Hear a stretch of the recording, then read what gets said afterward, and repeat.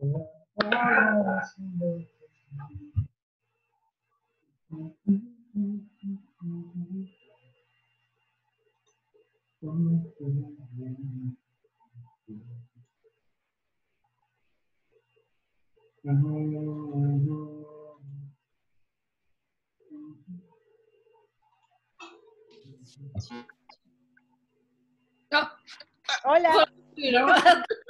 Hola. Mini conversación. Mini, mini. La mini conversación.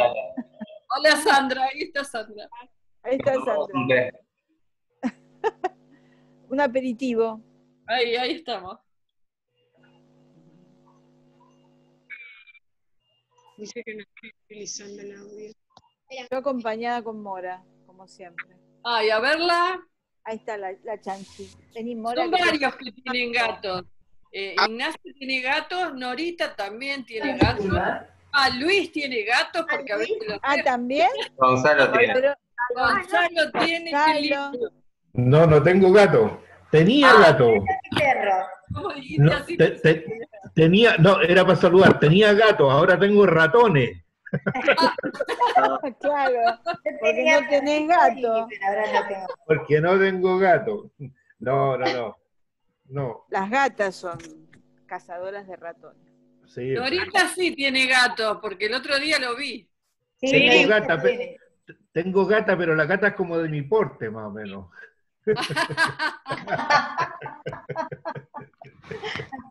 Vos también, Nacho, tenés, ¿no? Vos Eh, tenés sí, capaz- tiene tres. ¿Tres tenés? Uh, Tiene Ah, tres. qué lindo. Eh, qué lindo. somos una gran familia. Luis, tenés una. No, yo tengo en este momento dos, pero llegué a tener, no se rían, pero llegué a tener seis, porque, No, porque rescaté una gatita de la calle sin saber que estaba esperando cría. uh, Se agrandó la familia, sí. después, bueno, lo fui algunos dando. Me dio pena, pero bueno, no podía tener a todos. claro. Claro. Oh, La gata estaba, pasó de la angustia a, a estar, digamos, en un- eh, se sentía como en un paraíso. Son lindos. ¿Quién estaba hablando? Estabas hablando vos, Roxy, se te cortó. Ay, no tiene voz. No te escuchamos. No, no, No no. se No se escucha.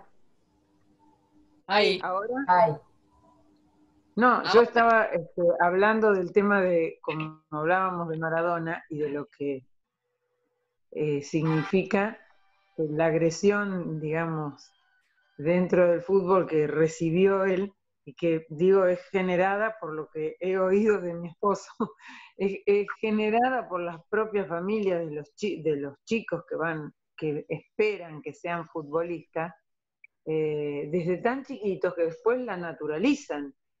Claro, Claro. claro. Yo me enojaba con mis compañeros cuando jugábamos a cualquier cosa, que eran re competitivos. Y te decía, para un poco, ¿qué te vas a ganar? ¿Qué te van a ganar de premio? Era como, es lo más, a todo en- nada. Y eso existe porque es como la pasión. Es como, me tiro, me revuelco, claro. Eso está bueno revolcarse, pero el tema es esto de competir con el otro, cueste lo que cueste. Claro, insultarlo, sí, lo que pasa es que- insultaban entre- Ricardo.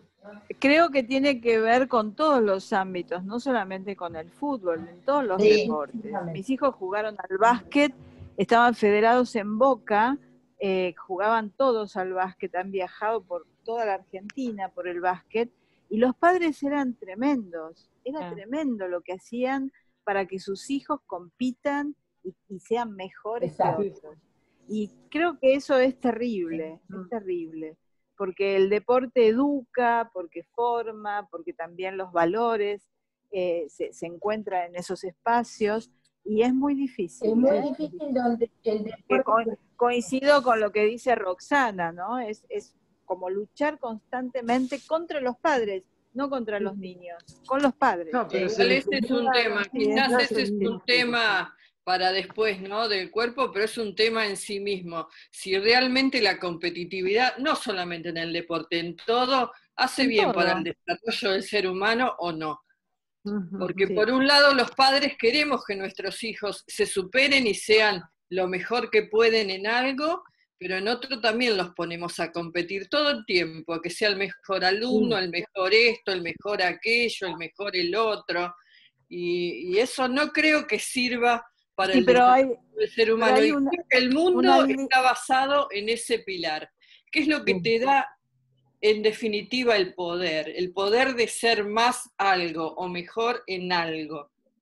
Igual hace fíjense que- que Pero lo importante es que nosotros competir. le estamos enseñando a los chicos en la educación pública. Bueno, yo eso lo trato ahí en la corporalidad del cuerpo en la hora de que en las escuelas se da deporte, se da competencia y no se da, por ejemplo, no sé, danza, que podés aprender sobre cómo mover tu cuerpo, sobre la corporalidad sin tener que estar compitiendo con la otra persona. Exacto.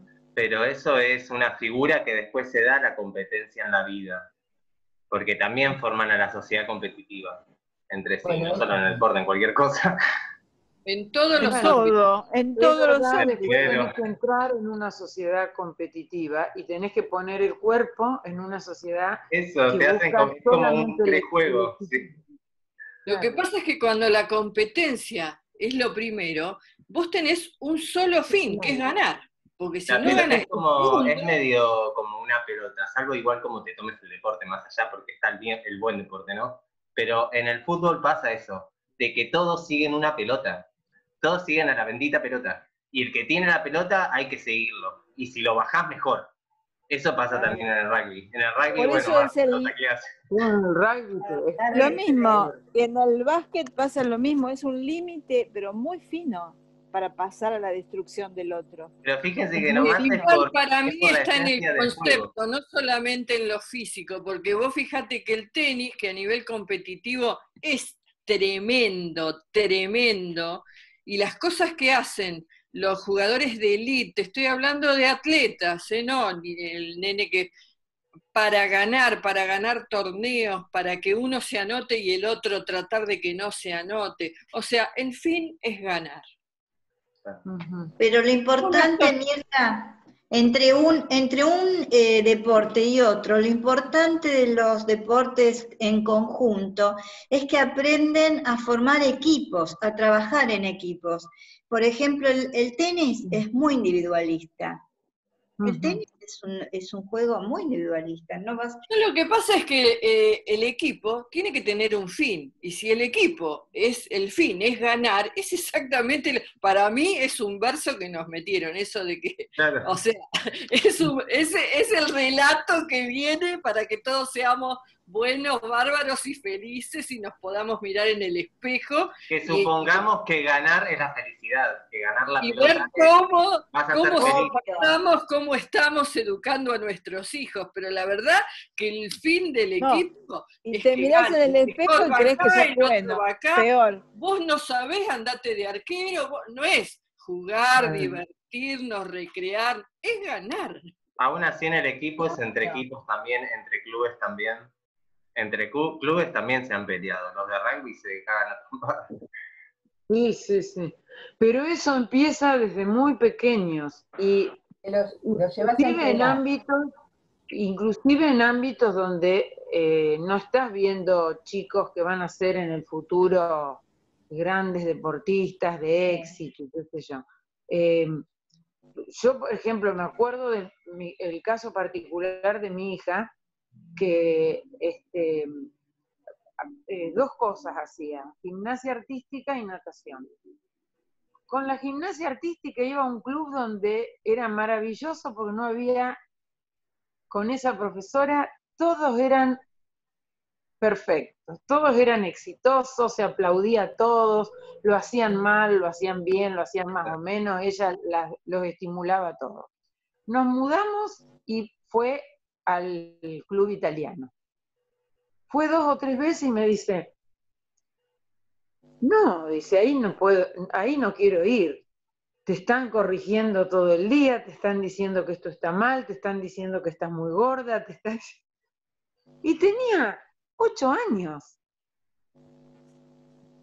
Y ya le estaban estimulando en el mismo club, ni siquiera ahí había padres en el medio, que tenía que bajar de peso, que tenía que hacerlo bien, que tenía que... Entonces, ya se estimula desde el vamos a las personas a ser exitistas y traspolemos esto a nuestra propia actividad. ¿Cuál es el éxito de un artista?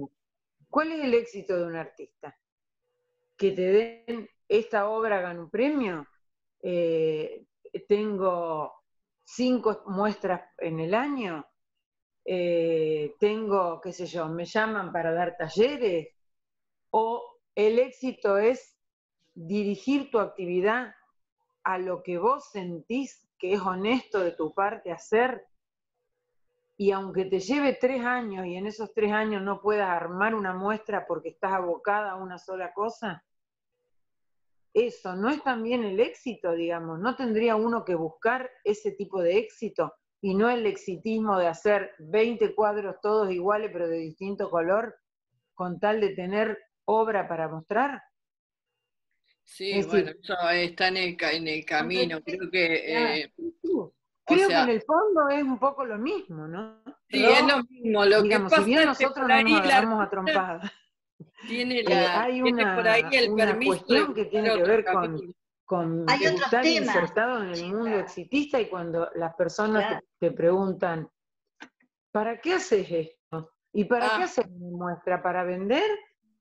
A, a veces sí, uno le gusta vender, pero digamos, no está dirigido solamente a eso. Claro. Claro, y, y Robos hiciste mención a las chicas que tienen que cuidar su cuerpo, que tienen que mantener un peso. Yo te lo di, yo este, sé la experiencia que, por la cual transitó mi nuera, ella estudiaba danzas. Y muchas chicas, había más de una chica que tuvieron eh, anorexia. Claro. Eso es otro de los temas muy delicados que se dan en las, las chicas eh, jóvenes Claro, sí, totalmente. cuando están haciendo a danza, porque que son crean tantas las exigencias, Ujú. Sí, ¿entendés? sí. Y a veces, a pesar de que uno crea que uno es dueño de su cuerpo, uno está siendo esclavo de la opinión que, que tienen, ya sea por la profesión o por, por lo que sea, lo- que tienen otros sobre el cuerpo, que es lo que en, en algún punto lo que pasó, o lo, eh, lo que ha pasado con Maradona, lo que pasa, lo que vos estás diciendo con las bailarinas, lo que pasa con las modelos. Con que- las mujeres en general, digamos, en, Claro. en general, sí. a las mujeres, se no- o sea, el hecho de se- ser y sentirte atractiva o te empodera o te deja, eh, y de alguna manera todas caemos un poco en eso, sobre todo de jóvenes, cuando ya pasás cierta edad, bueno, te Sí. relajás mucho más y el peso pasa a ser algo de salud, digamos, no un excesivo peso, quizás también como le pasó a Maradona, que necesitaba a lo mejor un peso más, porque el cuerpo empieza a resentirte y necesita un peso saludable. No sé si ideal, pero sí eh, Saludable, sí. saludable. Pero eh, todas las mujeres, creo que en su gran mayoría, pasamos por eso. Hay veces que el cuerpo te atrapa, cuando vos sos joven y te sentís atractiva, la verdad es que te gusta y te, eso, eso te atrapa, ¿viste? Te pone en algo que está... Que no Te sé si- porque de qué Te te sirve que todo el mundo eh, pase y vos digas, ay, qué linda estás y de qué te sirve. O sea, humanamente no te sirve de mucho ni, o de nada. Para Pero la Pero lamentablemente Está instalado en la sociedad. está instalado en la Pero- sociedad. pero al margen de eso, al-. Al Ah, margen perdón. de estar instalado en la sociedad, hay que pensar que a esa edad, cuando uno es joven, funcionan las hormonas, que no Claro, necesariamente tiene que estar instalada en la sociedad. O sea, eh, somos, un- somos animales, aunque nos vistamos de chaqueta y corbata, pero seguimos siendo igual animales, digamos. O sea, no nos miremos como si fuéramos algo distinto eh, de- dentro de este, de este planeta. ¿ya? claro, juega ahí un ritual seguro. claro. El Igual, o placer sea, y el deseo, sí. pero, también eh, supuesto. creo que la clave Perfectos. estaría ahí, en todos los temas está la clave en el interno, porque ¿cuál es el bien para uno? La salud a cualquier edad. Podés tener 10 años y preocuparte por estar sano Sí. y alimentarte bien y no perseguir un cuerpo a los 10 años por estar anoréxico para tener un buen cuerpo para bailar.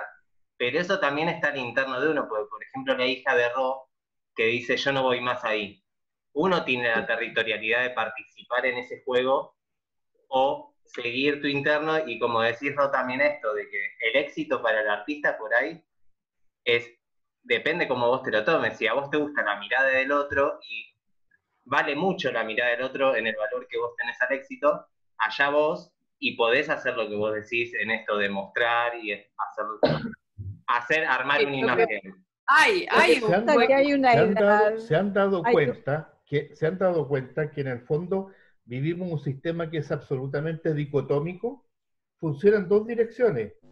Primero, por un lado, queremos ser todos, o se habla de que todos debemos ser iguales. Yo personalmente disfruto la diversidad, no la igualdad. O sea, lo que no me gustaría es que todo el mundo fuera exactamente igual. Igual. Y, Aburridísimo. de- y dentro, y, y yo agradezco en realidad que René haya puesto el tema del cuerpo, porque al principio yo no le encontraba mucho sentido esto del, de- del territorio del cuerpo, digamos. Al final he llegado a la conclusión, masticando mis chicles o, el tema, he llegado a la conclusión de que en el fondo la sociedad o nosotros mismos nos estamos estrellando contra nosotros mismos, justamente por lo que dice Mirta porque de alguna manera nos imponemos cosas o la sociedad nos impone cosas que desde muy jóvenes vamos jugando a roles, a estar adecuadamente. Yo también fui rugbyista, qué sé yo, en fin, nos sacábamos la mugre, pero éramos caballeros que nos sacábamos la mugre. Entonces, al final es un juego dicotómico, van en, dos direcciones opuestas. Es como si no habláramos de la verdad absoluta, sino que habláramos de la verdad y la mentira como si fuera la misma cosa. ¿ah? En el fondo nos estamos estrellando contra nosotros mismos dentro de ese sistema, el cuerpo. Yo creo que eso es lo que tenemos que tener claro. Y también la verdad, eh, por ahí no siempre, la verdad es todo en sí. La verdad es lo que pasa, la realidad misma. Vos podés elegir una verdad u otra verdad, pero la- el que firma que es verdad es, es la territorialidad esta, la firma de cada uno. Vos le das el gancho a avalar tal cosa y comportarte y vivir bajo reglas que otros imponen o que otros te proponen, pero vos las aceptás. Exactamente. Eh, algunas esas- conscientemente, pero el inconsciente también juega algo fuerte, porque si nosotros somos, como dice Heidegger, un cuerpo que es arrojado al mundo, porque nosotros no somos, está bien que somos instinto, como dice, pero no somos una planta. Una planta no necesita nada para ser una planta, es, nosotros no, necesitamos realizar nuestro ser en algo, en ser artista, en ser futbolista, en ser eh, lo que sea, necesitas hacer algo con eso. Y la sociedad tiene reglas para eso. Y tiene reglas Sí, Mirta, pero, pero no somos, no somos, en cierta parte, en cierta, en- de cierta manera, la sociedad nos afecta, nos interviene, y contra más sociables seamos, más intervenidos estamos, porque más dependemos de todo ese círculo. Una de las razones por la cual yo me retiré de los grandes círculos de Santiago de Chile, y en la cual tengo que volver la próxima semana justamente a juntarme con toda la creminata de los artistas chilenos, es por eso, porque uno necesita retirarse, estar en su propio espacio, mascar su propio chicle y al final hacer un poco una vida más madura, más hacia adentro. Que- Seguro, todos nos protegemos de alguna manera, porque por otro lado todos tenemos límites en los cuales no podemos participar o no queremos, o, o circunstancias personales, vamos. o ya está bueno, ya, ya está bueno. O sea, en algún minuto, para seguir avanzando como individuo, es necesario mirar Claro. un poco el panorama desde afuera. No desde el, Totalmente. desde el- desde el centro. Porque hay veces que Esos, vos esos espacios también te marginan, ¿eh? Hay Sí. espacios que te marginan, absolutamente. Lo que Sí. pasa es que estar, como dice, es un desgaste, porque competir es un desgaste. A mí la verdad que yo hace muchos años que dije, no, los concursos no, compi- no, no presento a los concursos, no, que se maten otros, porque después o lo tomás como frustración o estás esperando. Y por otro lado digo, bueno, está bueno, no. por ahí este año voy a participar, pero es algo, Eso, y conozco gente que específicamente pinta para, con- para concursar. Claro. Sí, hay un montón. Para entrar a los salones, es todo un esfuerzo, es toda una... Tenés que, bueno, y si no, lo tomás como una realización personal, porque creo que un artista también en el arte, como es inútil, como dice Rocana, ¿para qué sirve? Para nada. Viste que todo el mundo, mucha, ¿a quién no le han dicho, qué lindo, qué hermoso, pero ¿para qué lo haces? Porque al no ser utilitario, al no ser, ¿viste? Hay Es gente que en realidad no, no conocen por ahí la utilidad real que estamos tan inmersos que es en una un fuente de mí energía. utilitario Mu- que no hay lugar muchas para... veces- Llegan a apreciar la muchas fuente de veces- energía que es un cuadro. Ese es el problema. Muchas veces me dijeron, muchas veces me dijeron, ¿y usted qué se dedica? Yo me dedico a la pintura. Ah, mira qué bonito, qué interesante. ¿Y de qué vive? ¿Qué trabaja? A todos nos ha pasado. Ah, claro. sí, ¿Y sí, qué? ¿Para qué? O si no te dicen, ¿y para qué?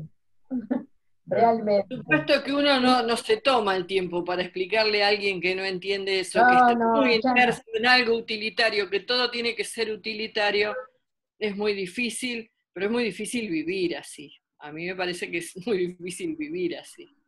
Creo que la inutilidad es algo fantástico de parte del arte y que lo tenemos que proteger, porque si no se convierte en una carrera, como dice Ro, como decía Ro, eh, viste, llegar al pri- ¿a dónde? ¿A dónde, gordo, vas a llegar? ¿A bien. qué? Es que además llega un momento de madurez en cada uno de nosotros, que decís, bueno, esto que estaba haciendo no me sirve, lo pongo a un costado, y bueno, y voy por este lado, y que sea lo que Dios quiera por este lado. Eh, llega un momento que es como, se va decantando todo, hasta que te queda lo que realmente vale la pena, y te das cuenta que lo otro, lo otro es guirnalda y carnaval, nada más. Claro. Este, que no, no, no te sirve de nada. Lo hicimos, lo hicimos. ¿Quién no ha pagado por presentar una galería que se pagan fortuna? Lo hemos hecho, ese camino. Y llega un momento que decís, bueno, basta, esto ya, ya fue, no me sirve. Claro. Esto Claro. otro no me sirve. Y vas decantando, y te vas quedando con lo que realmente vale la pena. Hay que separar lo que es la fama y la fortuna con lo que es el éxito. El éxito es el desarrollo del camino personal, íntimo de cada uno de nosotros, que Claro. no depende si es que me fue bien o me fue mal en la calle, sino que es- es- depende cómo yo me siento como individuo centrado, parado en mi persona, en mis pantalones y mis zapatos. Eso para mí es ser exitoso. El resto, maní. Sí. El Yo te resto es- digo, Gonzalo, nunca tuve ni fama ni fortuna. Para descartarla, pero Me quedo No te con lo que preocupes. Pero, pero, pero, lógi- pero si es parte de la gran mayoría de los artistas, ¿quién podemos decir que, que ha sido un exitoso, exitoso? Yo me siento afortunado de poder vivir como vivo. Con eso ya soy feliz. Sí, sí, sí, sí. De poder producir bueno, y- y Con, de- con lo, con lo bueno y con lo malo. Pero, pero he aprendido a aceptarme y a sentirme agradecido por lo que puedo hacer. Exacto. Empezar por el goce personal cuando estás creando. Creo que es lo más Darte importante. cuenta, llega un momento de madurez que uno ya tiene ese goce.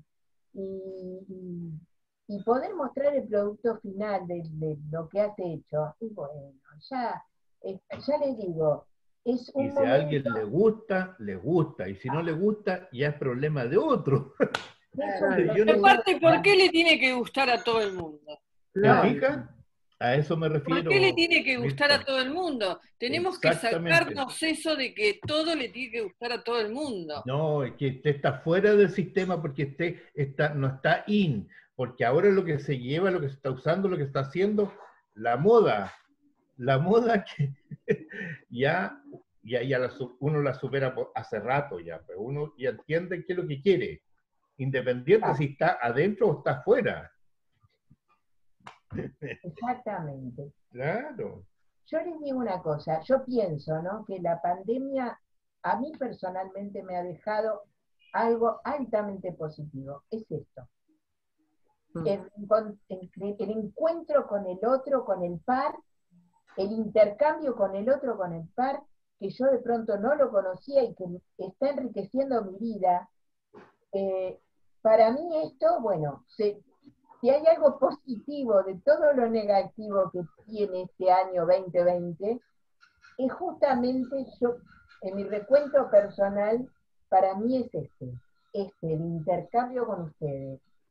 Para mí es sumamente enriquecedor. Eh, y también es poner el cuerpo, en cierta manera, ¿no? Sí, sí, también. También es poner el cuerpo eh, y, intercambiar.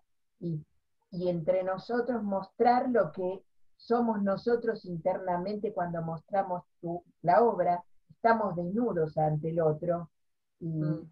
y mostramos resortes internos que tal vez nadie conozca y lo mostramos aquí. Y, y algunos nos conocemos y otros nos hemos conocido este año y sin embargo este, nos hemos mostrado tal cual somos.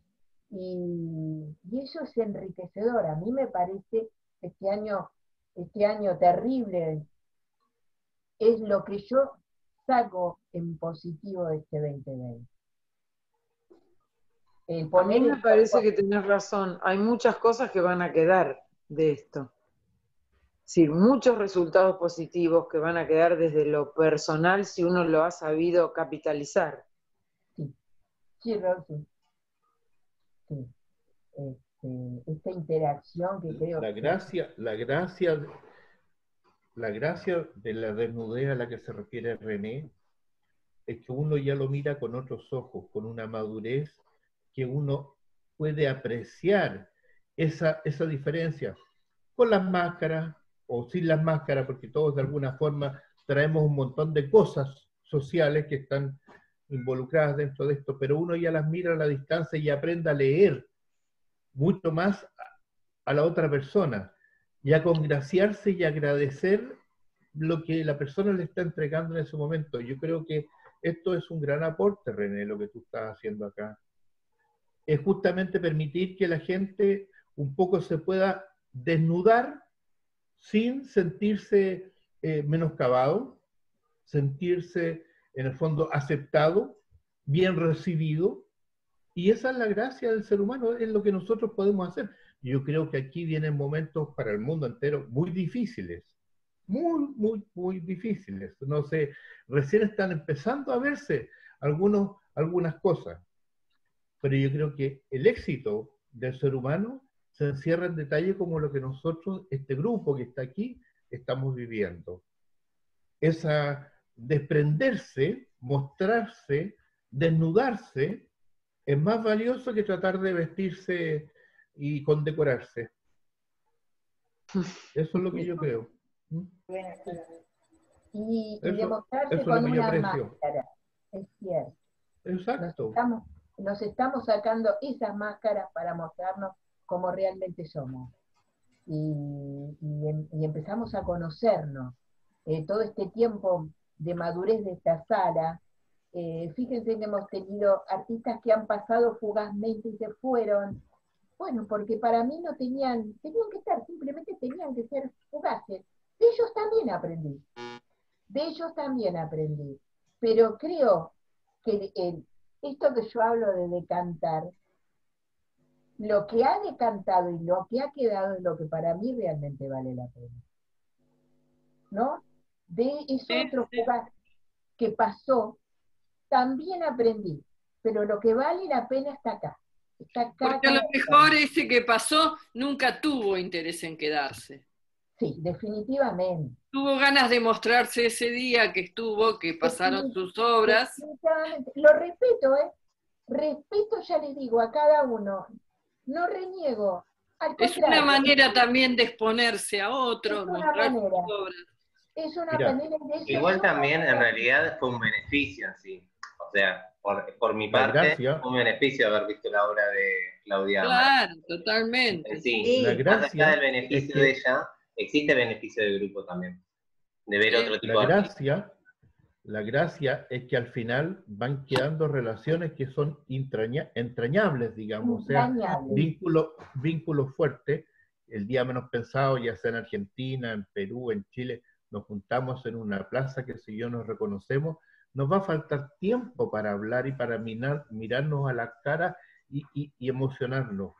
Pero esa cosa nos va dando la madurez para entender quiénes verdaderamente están cerca de uno y quienes, como dices tú, René, pasan por el lado de nuestras vidas. O sea, es parte del tejido de, lo que nosotros tocamos y quienes verdaderamente estamos, están junto a nosotros. Porque esas personas que están cerca de nosotros, en el fondo, de alguna manera, cada uno de nosotros nos estamos de alguna manera afectando, digamos, emocionando, tocando, ¿ya? Aunque estemos a través de la pantalla. Y eso, eso genera otro tipo de relación, otro tipo de vínculos.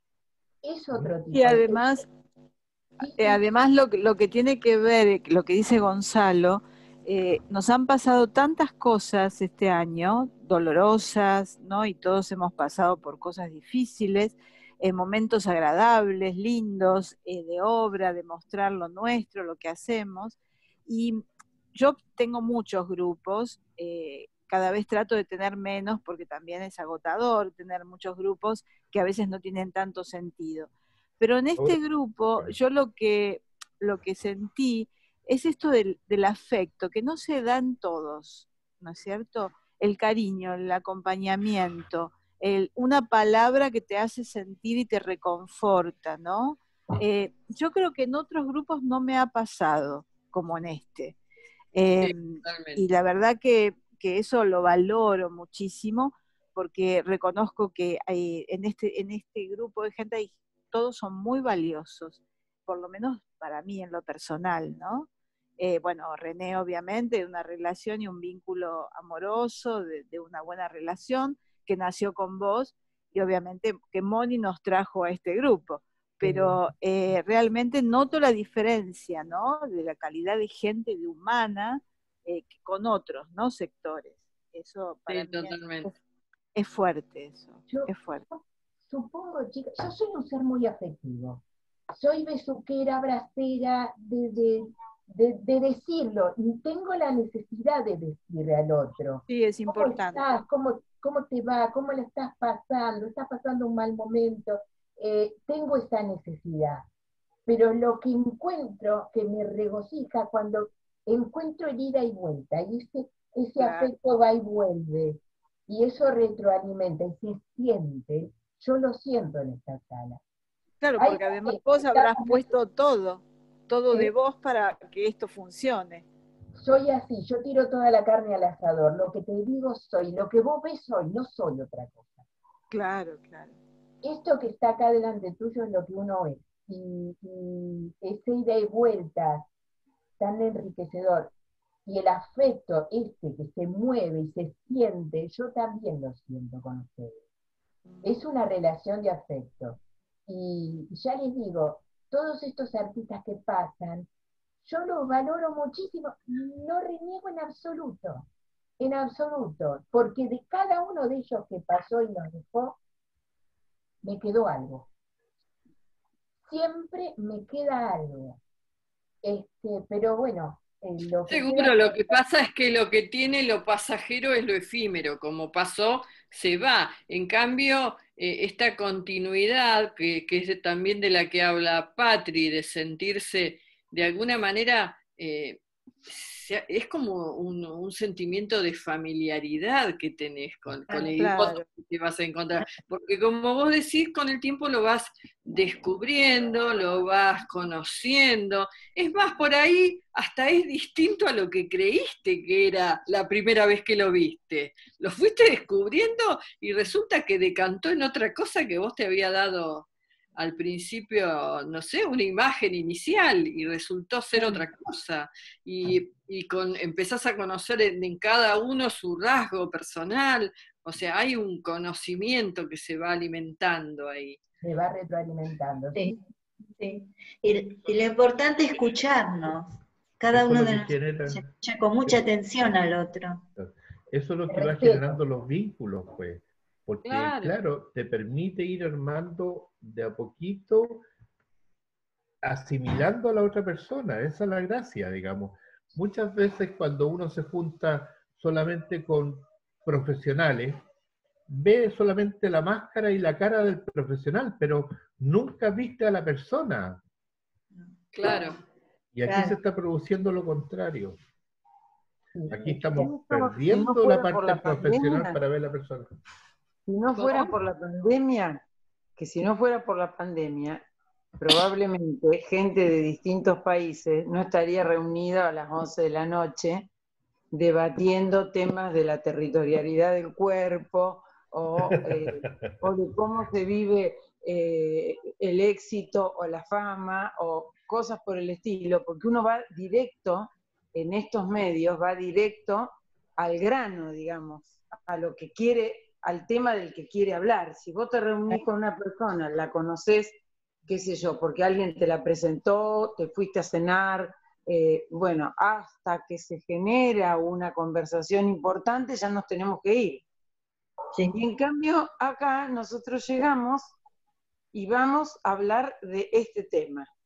Entonces, es como que acortamos una distancia de, eh, digamos, si bien hay presentación y- o hubo en su momento, acortamos una distancia y empezamos directamente sobre lo que queremos hablar. Y eso hace que te conozcas un poco más. Pero eh, porque creo que tenemos algo en común que es la pasión por Claro. el arte. Entonces, Claro, sí, sí. eh, te- un- tenemos un, un lenguaje en común, un idioma en común, sí. ¿no? Pero además tratamos de que no sea vertical esto, se va a hacer y se va a decir lo que nosotros decimos, no. Eh, Vieron que es abierto a las, opiniones, a las opiniones de ustedes, este, y lo que ustedes nos, nos, nos aportan, fantástico, vamos mejorando, fuimos, de hecho, nos reíamos con Marjorie, desde aquella primera sala esta, hemos recorrido un largo camino enriquecedor y, y- y fuimos creciendo de a poquito, porque aprendimos sobre la marcha, sinceramente. Y, y ver este resultado final es fantástico. Yo ya ando con mi carpetita abajo del brazo, este, eh, trabajando para el año que viene para nuestra exposición colectiva y, y el reencuentro real de todos. Así que bueno, estoy, estoy caminando como la hormiguita buscando, eh, buscando Un los espacio. espacios. Ya un espacio lo tengo casi ahí adentro de la manga, pero me faltan los sponsors porque también hay que traer los artistas de afuera. Y, y bueno, hay que, es- en realidad es un largo trabajo, pero bueno, este, estoy sobre eso, que, que- que creo que sería la frutillita de la torta el poder encontrarnos todos en un lugar. René, pero todo eso se puede arreglar, se puede arreglar si lo conversamos previamente.